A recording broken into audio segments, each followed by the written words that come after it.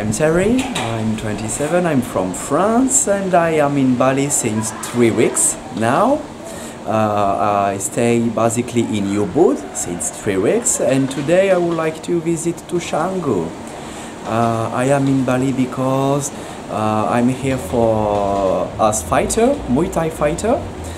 Uh, and I have a fight in Ubud in, since uh, in, in few days and uh, I was in Canggu today uh, because there is a really famous uh, um, gym fight, Bali MMA and also Soma, so I visit them today and it was really fun.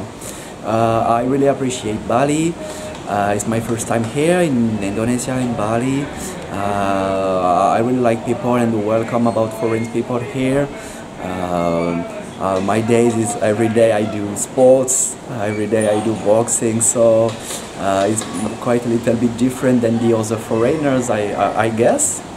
But I'm really proud to be here and I'm really sure I'm gonna stay here for maybe some weeks more mm -hmm. after my fight and maybe come back here and, uh, and talk a, a lot of things really good about Bali for my friends in Europe. Okay. Will you recommend about Bali to your friend or family? Exactly, exactly. This is exactly what I said. I will recommend this uh, in Bali about tourism because Bali, Bali and Balinese people are really, really smart about uh, the fact that uh, the, the, the, way that he, he, goes with people and the, the, the way that he was really lovely with foreigners. So I just can recommend it, this place. Uh, I already visited Thailand or, or, or, or other country like Malaysia and I really, really enjoy Bali for, for all the culture.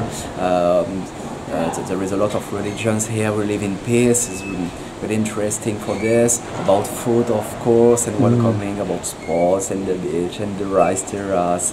It's a lovely, lovely place that I will recommend here. Okay. Thank you, Terry, for your comment. Thank you.